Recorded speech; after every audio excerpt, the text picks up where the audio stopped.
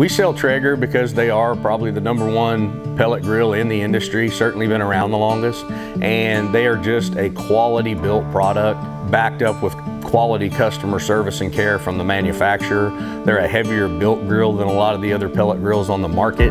um, and they just give food an incredible flavor. If you've never cooked on a pellet grill you, you, or eaten something off that was cooked on a pellet grill, you may not understand or know, but it is the easiest way to cook food and put quality flavor into your food.